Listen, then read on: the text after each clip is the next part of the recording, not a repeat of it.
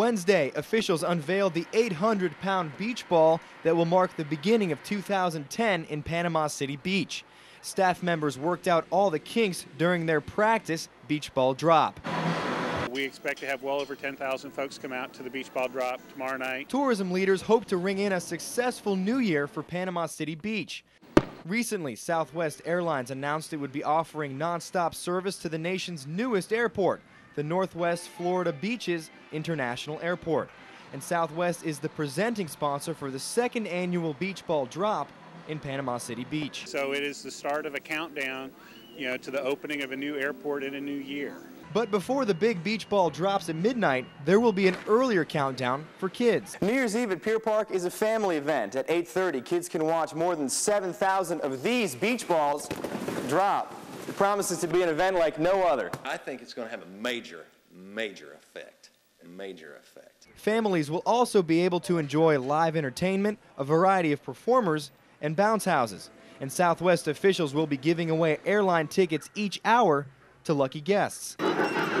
All that will turn Pier Park into the largest street festival in the region. I think she's excited about that. Are you excited about that? She's excited about that. Our tagline says it all. Panama City Beach is real fun beach. After seeing all the preparations underway Wednesday, locals and visitors say they're looking forward to Thursday's main event.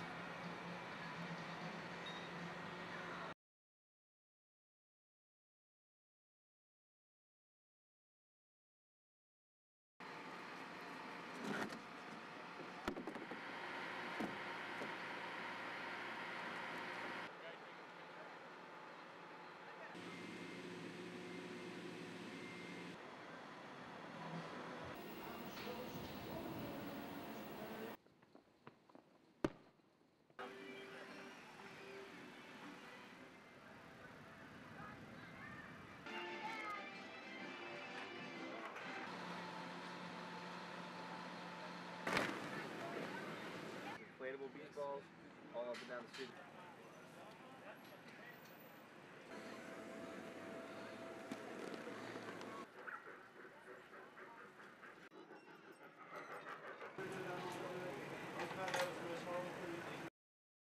I think she's excited about that. Are you excited about that? She's excited about that. Our tagline says it all. Panama City Beach is real fun beach.